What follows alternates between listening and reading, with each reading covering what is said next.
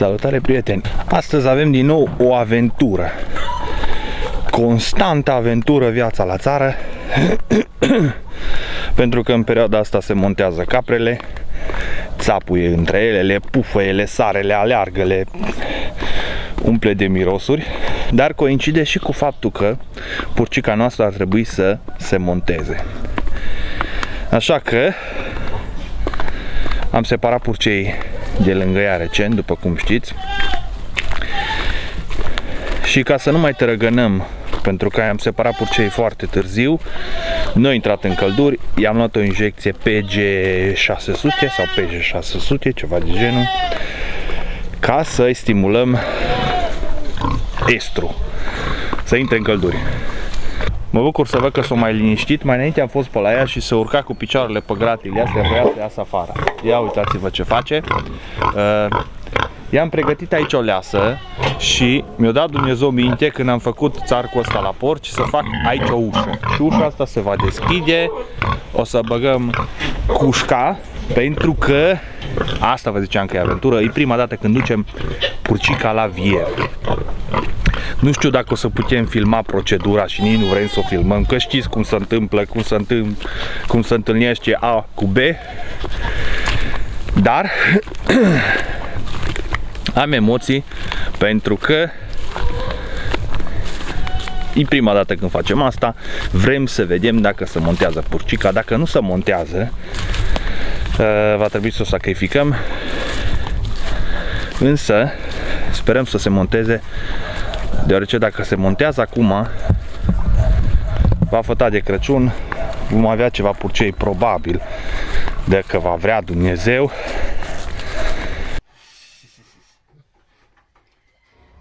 Treabă bună. Vai, unde e sora voastră? Pleca sora voastră. Ce vă trebuie tu? Nu vă las afară. Nu vă las afară că am deschis acolo gardul și Până de seară stați aici. Aveți de mâncare, aveți spațiu, aveți curtea voastră. Iar voi ce faceți? Că nu vă las la țap. Voi trebuie să stați cu mința anul ăsta. S-a înțeles? Trebuie să stați foarte cu minți.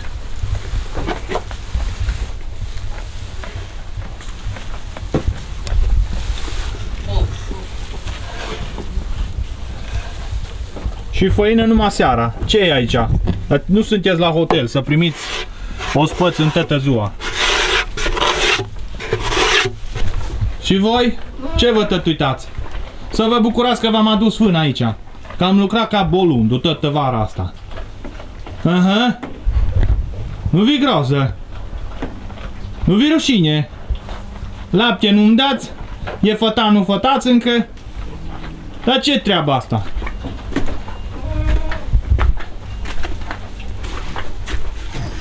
Și tu ce faci, mă, cocoșule? Nu le montezi pe capre? Le-ai montat, așa -i? Le-ai montat pe capre, amu ești liniștit.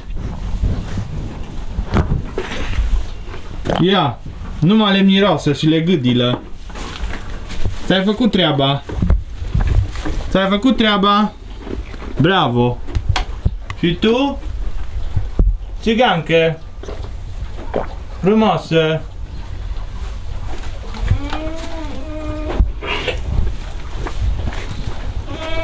Liniște am zis.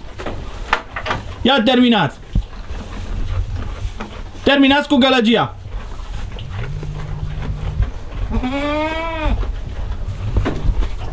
Silvi, tu ești șefa. Fă ordine aici. Să fie liniște. Care nu mănâncă să țină gura închisă. Nimă la voi ce scandal faceți. Toată ziua strigați.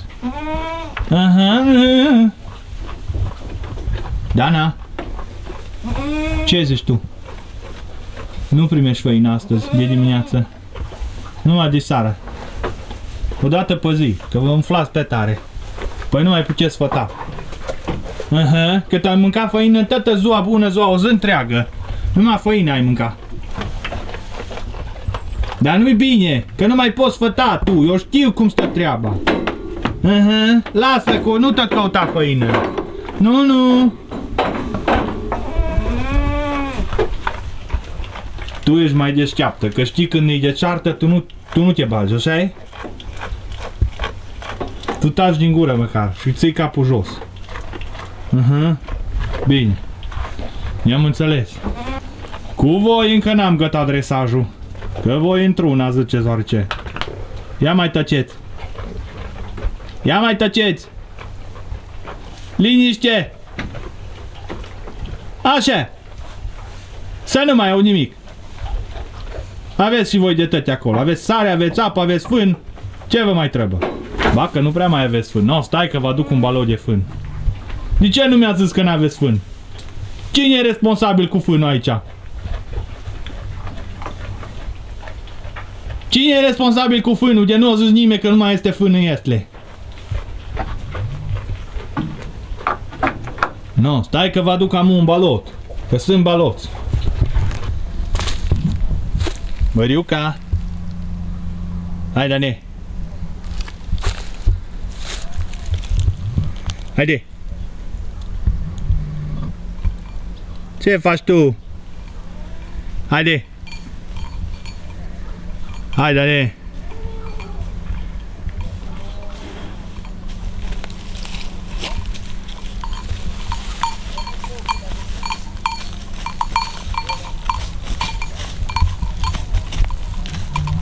Ce faci frumoasă? Hă? Ce faci? Du-te și mănâncă iarbă. Du-te și mănâncă iarbă frumoasă. Măriuca a avut niște probleme de sănătate. Trebuie să-i dăm antibiotic 6 zile. Pentru că a crescut temperatura la 42 de grade.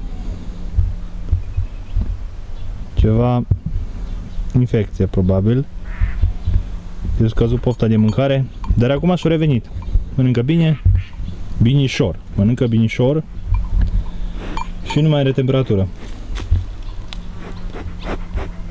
Tot așteptăm să intre și dumnea ei în călduri. Tu când intri în călduri tu? Lasă gardul. Nu te atinge de gard.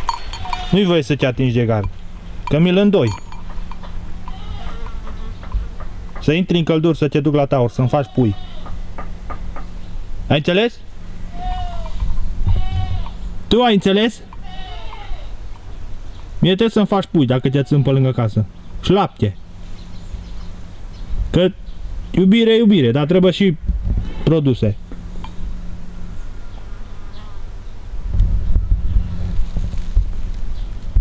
Ai înțeles, da?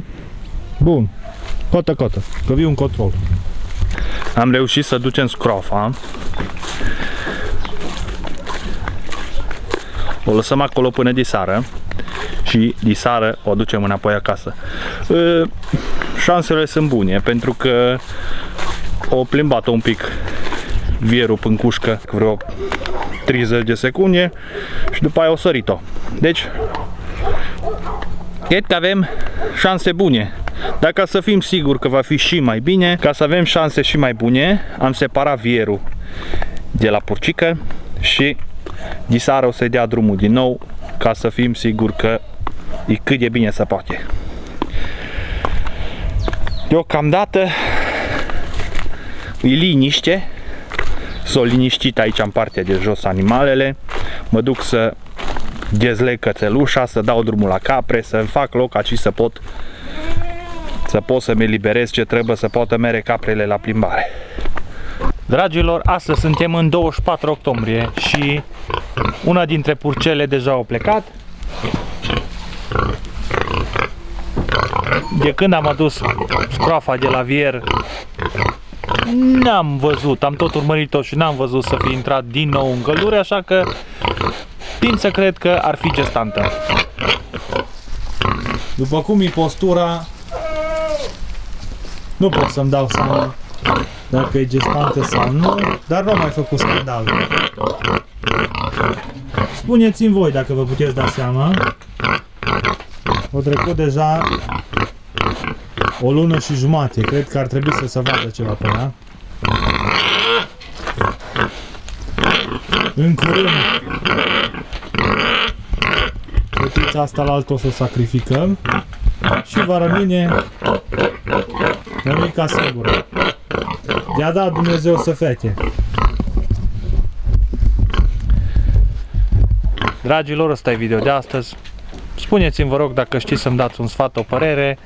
Credeți că e gestantă sau nu purcica? Ludmila, ca așa o cheamă. Vă mulțumesc pentru vizionarea acestui video.